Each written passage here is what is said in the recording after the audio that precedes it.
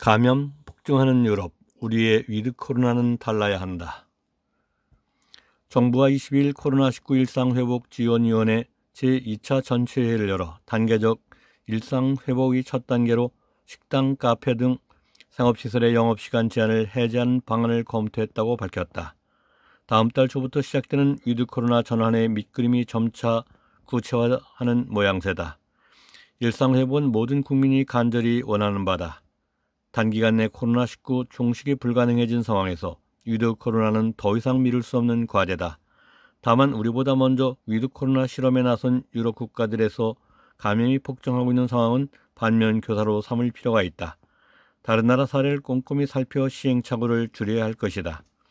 위드 코로나 전환을 눈앞에 둔 지금 다른 나라의 성공과 실패의 경험은 우리에게 유용한 참고서가 될 수 있다.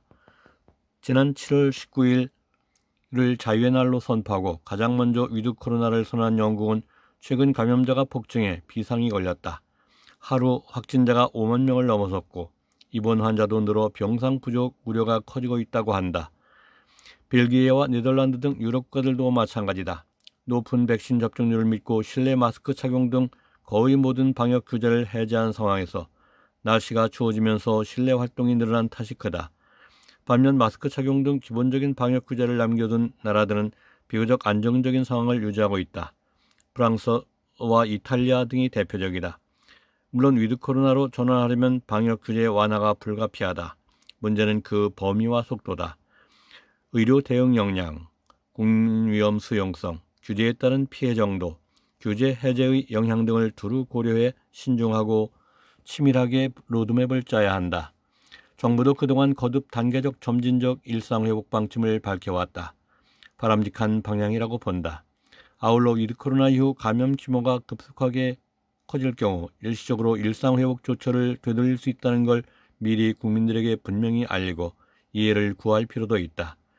위드 코로나 기조를 유지하면서도 유행 규모에 따라 사회적 거리두기를 조절하는 싱가포르 사례를 참고할 만하다.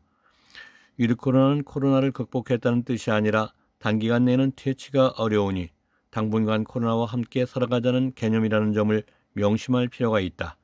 당연히 위험이 수반될 수밖에 없다. 그 위험을 최소화하는 게 우리 공동체가 함께 풀어야 할 과제다. 코로나와의 싸움 끝날 때까지 끝난 게 아니다.